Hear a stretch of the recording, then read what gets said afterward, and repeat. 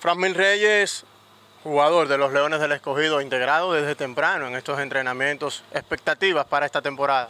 Ganar, buscar 17. Eso es lo único que se anda atrás ahora mismo. ¿Qué motiva a un jugador como Franmil Reyes integrarse tan temprano a, a la causa roja? Eh, bueno, obviamente, primeramente por el equipo. Eh, también este año fue una temporada muy corta para mí.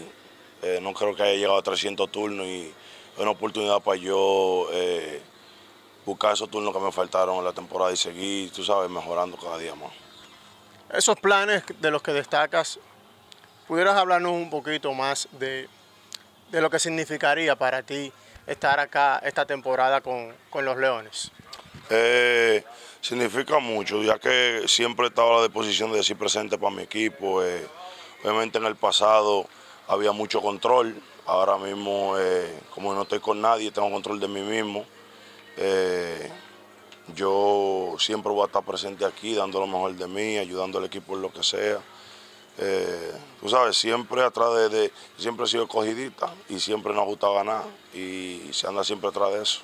¿Cómo has sentido el ambiente, tu llegada y, y también lo que has podido conversar con el dirigente Víctor Esteves?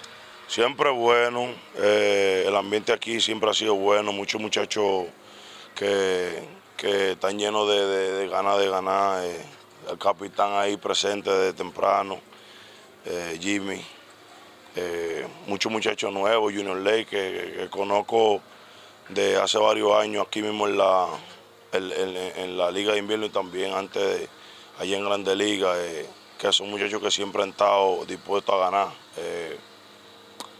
El dirigente lo acabo de conocer ahora, cuando estaba en el cage. Hablamos muchas cosas buenas.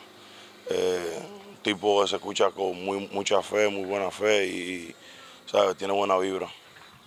Se ve un Franmil Reyes en buen estado físico. ¿Qué ha estado haciendo Franmil para, para mantenerse? Entrenando, entrenando fuerte, ya como tú dijiste, para mantenerme.